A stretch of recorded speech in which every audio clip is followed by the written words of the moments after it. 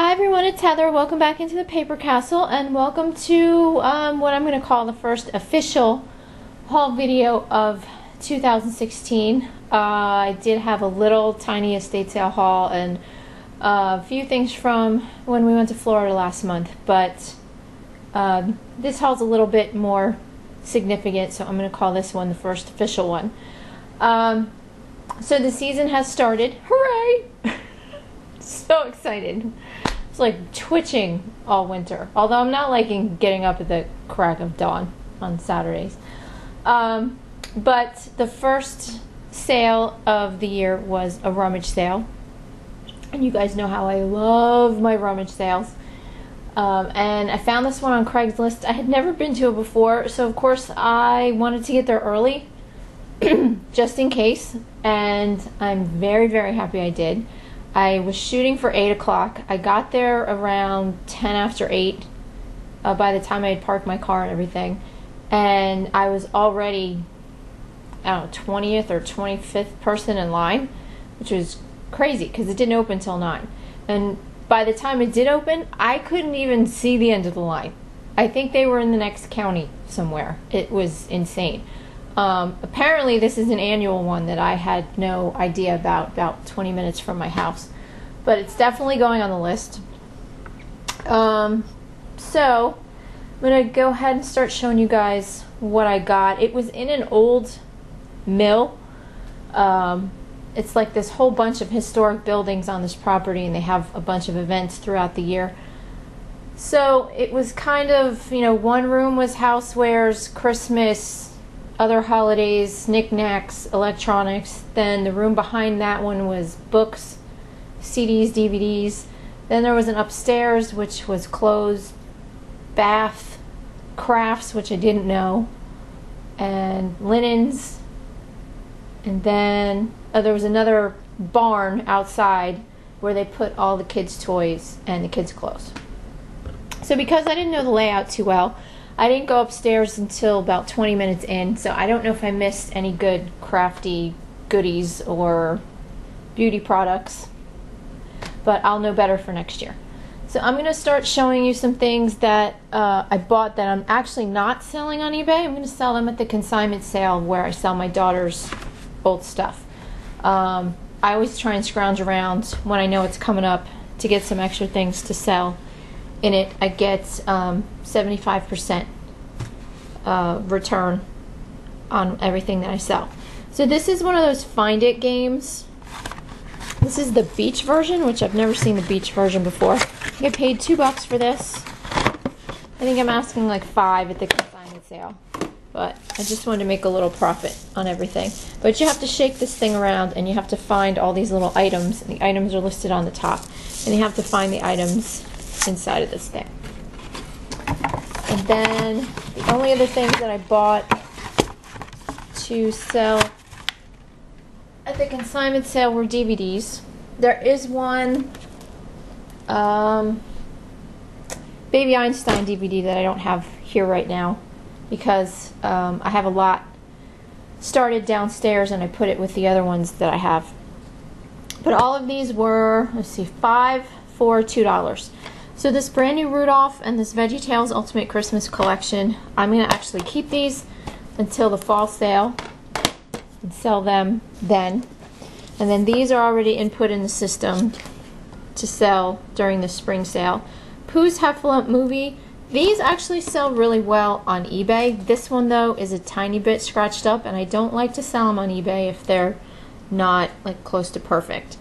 Um, even though, you know, I'm sure it works just fine. But if you find this, and there's a Halloween one, and I'm not sure if there's any others, uh, if you can get them cheap enough, pick them up, because they do sell pretty well. Curious George the movie, Elmo and Grouchland, Alvin and the Chipmunks on Blu-ray, and I got three Bob the Builder DVDs, which are all brand spanking new in the package. So, those will all be sold at the consignment sale, hopefully.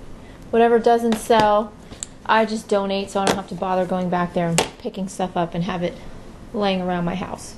So my house is way too overcrowded with stuff. I'm actually trying to get rid of some of it. Um, Okay, so now I'm going to show you everything else I bought. Um, everything cost me, everything that I'm now going to show you cost me a total of, let's see, $12. And I already made that back today with a bid that I got on one of the items. Most of this stuff is already listed. I'm trying to stay on top of things. Who knows? but we'll see. Maybe that should be my resolution for this year. Um, first off, I got this sugar and creamer set and got it because it said Williams Sonoma on the bottom. Um, this is from their brasserie line. Uh, replacements.com has this same set on eBay right now. They want $80 plus shipping. I put mine up for, I believe it was 40 with free shipping at auction. Isn't it auction? No, it's fixed price, sorry. Um, fixed price and already have a watcher on it. We'll see what happens with that. Then I got some coffee mugs. They were 25 cents a piece. Or, I don't know, maybe less considering they just kind of looked in my bag and told me to give them 10 bucks.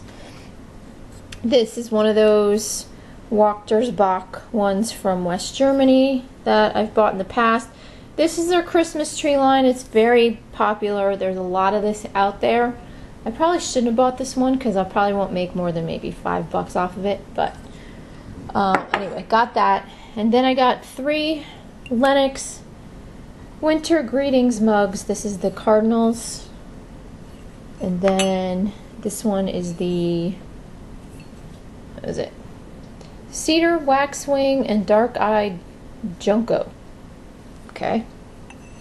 And there's actually two of those. Um, I know in the past I have gone on and on and on and on about the coffee mugs and how much I love them and how they're, you know, a big part of my sales. And I actually now don't know how many that I'm going to be buying this season because the postal hike was ridiculous back in January. Um, for those of you who sell, you know what I'm talking about. Uh, used to cost me with a mug that was over nine dollars. I mean, that was over a pound. It would cost me like I think eight ninety nine with my discount to ship it. I know some people ship them in flat rate priority envelopes and you know do the whole packing them in cardboard and wrapping them in bubble wrap and all that stuff. I don't have the time, the energy, or the desire to mess with all that. Um, plus, to me, it's just safer in a box. But for me to now ship a mug from the East Coast to the West Coast, that's over a pound, which most of them are, including the box, costs almost $12, and that's with my discount. And that's insane. Um, so I think I'm going to be a lot pickier this year with the things that I buy and try and buy a lot more first class items, media mail items, or things that will fit in a flat rate padded envelope. The post office is starting to make uh, shipping close to impossible. um, if anyone wants to bitch about it, you can comment below. Uh, I got this. This is a uh, cardboard decoupage uh, box, like a trinket box or a candy box from Germany. It says made in Germany right in there. It's not an old one because it says made in Germany and not, you know, Western Germany. But still should sell. This is a big one. This one's six inches in diameter. And got this little bell with these doves or lovebirds on it.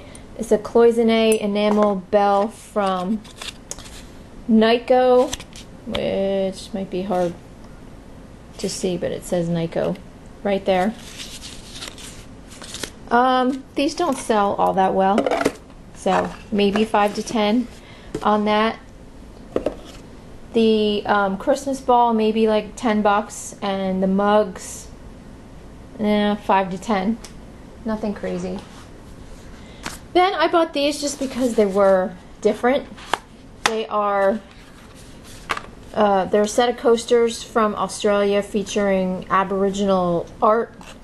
Not my taste at all, but I know there are some people out there who would appreciate them. And since they cost me, you know, less than a dollar, I took a chance. And they're from Oz Aboriginal. Maybe 10 on those. Um, got a couple of beauty products upstairs. This I just bought because it was brand spanking new in the box. This is Early American Old Spice Dusting Powder. Um, somebody has this up, and theirs is also brand new. And then in the title, they put "Great Father's Day Gift." Um, I'm thinking this is not the regular Old Spice scent. This looks like it's geared more towards a woman than a man, and personally, I don't know a man on earth who uses dusting powder with a powder puff. I'm sure there are some, maybe, but none that I know. And um, I sure know my husband doesn't want dusting powder as a Father's Day gift. So I left that part out of my title, but I'm hoping to make maybe 10 on that. And then I found this. This is a rare perfume. Uh, it was first put out in 1945 by Revell called Pagoda, as you can see. It's almost all gone, but it has a pretty bottle, and a lot of people collect these old vintage bottles. Somebody else has one on eBay right now. They want, I think, $80 for it, or best offer. I started mine out at 20 with free shipping, um, and it has the original box, just to see what happens. If it goes for 20, I'm happy with that. Um, let's see what else, what else, what else. Oh, this I was gonna sell until I realized it was missing a piece, so this is gonna go in the donate pile. This I just grabbed because it looked interesting off the office supplies table at the sale. This is a Western, or Weston, sorry, not Western, Weston um, exposure meter for, you know, light exposure meter from 1956, came in the original case and everything, but unfortunately the little, it should have a little red needle here, and that's missing. I don't know how, because it doesn't look like this thing has ever been opened up, but Regardless, I am going to stick it in the donate pile because it's only really worth about five bucks anyway, and that's if it's complete.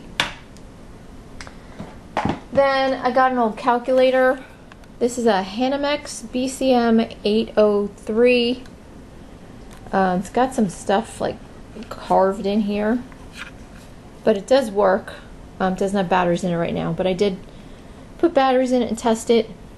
Maybe worth 10 bucks. And now we get to the more profitable items that I bought at the sale. I got this Chef Series knife from Tupperware. I wasn't even aware Tupperware made knives, but they do. And this is a really nice bread knife. If I can get it out of the box. And this was brand new in the package. It had cable ties around the handle, but I cut the cable ties off because this had been in storage and the blade was kind of jacked up and dirty and needed some TLC.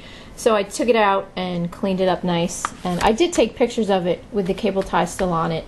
And then, um, you know, made everyone aware that it is brand new. I just took it out to clean it. So that's a very nice knife. I'd keep it myself, but I have enough bread knives. I have my late husband's bread knife, which I accidentally broke a little piece of the handle off of a couple years ago. And um, when my son went to Europe this past year with my mother in law, he told her, you know, she was trying to think of something to buy me. And of course, he knows, you know, I'm a big knife snob. So he goes, Oh, well, you know, we're in Switzerland. Buy mom a nice bread knife. You know, she broke her bread knife. So my mother in law brought me back a, a few knives, including this bread knife. And now my son's mad at me because I hardly ever use it because I won't get rid of his father's bread knife.